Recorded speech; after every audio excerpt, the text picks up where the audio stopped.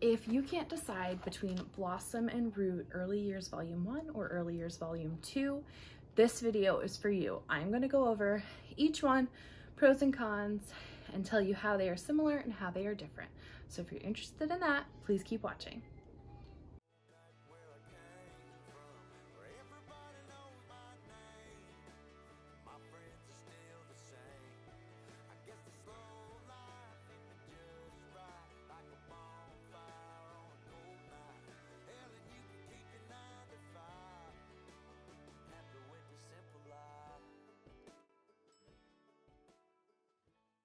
Hey everyone, welcome back to my channel. If you haven't been here before, my name is Morgan. Welcome. I'm a homeschooling mom of two, um, homesteader, all kinds of stuff. So um, if you're interested in homesteading, homeschooling, homemaking, anything like that, please hit the subscribe button and follow me on all social channels. They will be in the description box. Today I'm going to be talking about the Blossom and Root Early Years Volume 1 and Volume 2. I have already done a video on just this one, I believe. I don't know if I've done a full video on just the second volume yet. I'm not sure. Um, but today I'm going to be doing a really quick comparison and kind of like a compare and contrast of these two so I can help you decide which one you should purchase for your kids um, or kid or whatever. So my child is not napping. She's almost two and she's decided that she is just too cool for school and doesn't want to listen to me and take a nap. So I just put her down about three minutes ago um, and she's yelling at me. So just ignore her. She's perfectly fine, okay? Um, so I have like a little cheat sheet here to compare and contrast the two volumes. So first things first, these both come from right from the Blossom and Root um, website and they are both PDF files. I got them printed and bound through Hard Copy HQ, so highly recommend that. And they actually do a discount for Blossom and Root, um, Blossom and Root families. So you just, like you purchase the curriculum, send, when you order through Hard Copy HQ, you like put a screenshot of your order and they will actually give you a discount on um, printing and binding and stuff. So that's just a little tidbit. So first things first, the Blossom Root Early Years Volume 1. This, according to the website, is for ages like two to three. And this is like preschool because there's like preschool and pre-K. This is like preschool two to three. Um, this has, this is $22 for just the PDF, not the, not the printed, just the PDF itself is $22. Um, and you can print it out yourself. Just, my printer sucks. So I paid to get it printed. Um, $22. This has um, more of like a math exploration, less of like number recognition. That comes more along in the early years volume two. So this is more like a playful type of math. So this, this level, yeah, I guess level volume, volume one, has something called kindness and connectivity. And that's kind of like, um, I didn't read through every single one yet, but they're like nursery rhymes. Um, like this one, it's this is week 32. It says this week in kindness and connectivity, little hearts. For no reason at all, draw a little heart on your child's hand one day using a washable marker. Tell them you love them and that your heart is always with them no matter what. Re revisit this if your child is having a stressful or emotional day. Draw the same little heart on their hand and tell them your heart is with them no matter what. So this kind of just social skills, social, social, emotional well-being, wellness, things like that. I think that is what this is for. Um, let's see, what else is? Have a yes day, have your child decide what they want to do for the day, like just different things like that, just social well-being. Um, so that's really cool to have in here. That is not in the pre-K ages four to five, or the um, volume two. That one's not in that, but it is in here for the littles because really school for two and three year olds is not like school, you know. Um, and then this also has a more playful science, a more, um, they're both nature-based curriculums, but the volume one is way more like play science and less experimental, um, if that makes any sense. But this is geared, I would say, more for two and three-year-olds. So, moving on to Blossom and Root Early Years Volume 2. This one is $45 for the PDF. It is like can't really tell, but it is a lot longer than, or a lot bigger than that one. It has a lot more information um, and more like educational. This is more of a, this is way more play and nature based than this one. This one has a lot more like letter recognition, number recognition, things like that. So um, I would say personally, this is more of a pre-K for ages four to five in there.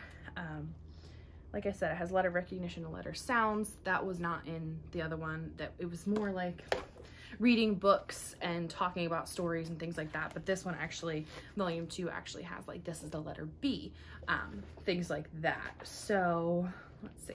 This one does not have the kindness and connectivity, but this one does have foundational math where it actually like, you can, you learn how to count numbers and let's see and recognize numbers. Trying to find one.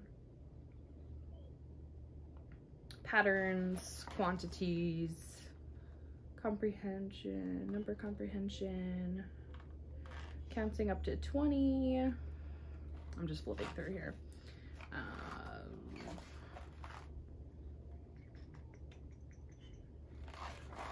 so yeah, this is much more um, educational much, I don't want to say rigorous, it's not rigorous, um, but this is a lot more math and letter recognition that a four and five year old would need. So I think it's right on track with like what a normal school would be doing, like in public school. I think it's right on track with that.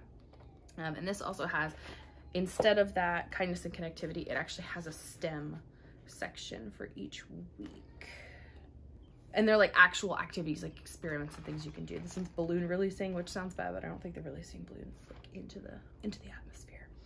Um yeah blow up a balloon and pinch it close with your fingers. Ask the child to guess what happened when you let it go and then do the test. so that's like a basic um, hypothesis and learning how to do experiments and things like that. Inference all that kind of stuff. So i would say this is better for a four and five year old somewhere in there so to compare them, they are both 36 weeks long. They both have picture and composer studies, um, like art and composer studies. So that's really good. Very Charlotte Mason based, play based, nature based, both of them equally like that. Oh, they're both secular. These are both a secular cur curriculum.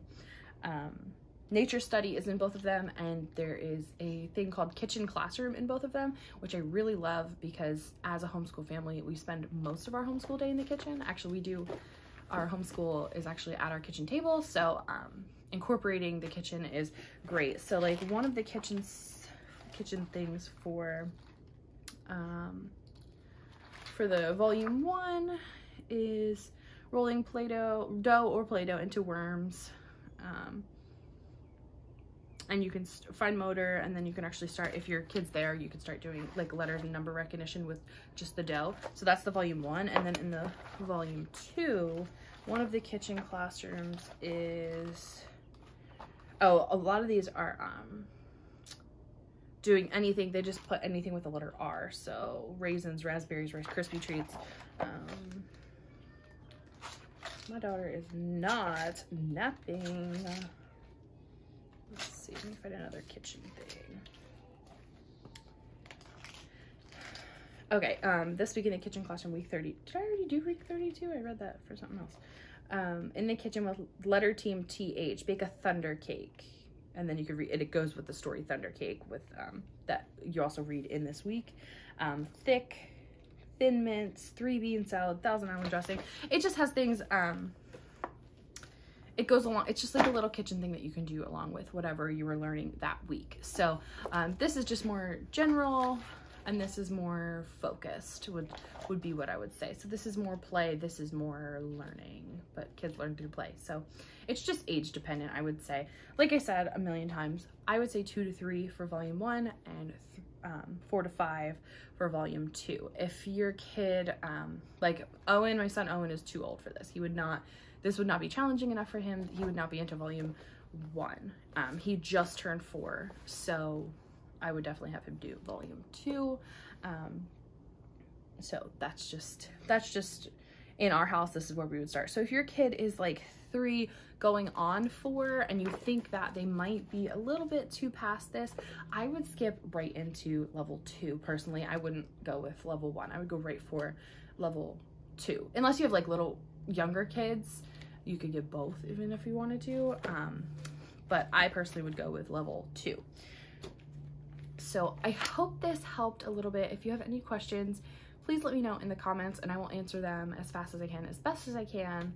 Um, I'm not sure what else you would want to know the comparison wise between these two, but I figured I didn't see a lot of information on a good comparison between volume one and volume two. So um, I will link these both down below, but this was volume one and volume two of the early years blossom and root and if you want some more information or if you want some more content around blossom and root or like you want to see us do a lesson from here let me know and i'll show you maybe like we'll do a full week of blossom and root only education. So if you're interested in that please subscribe stay tuned and leave a comment down below.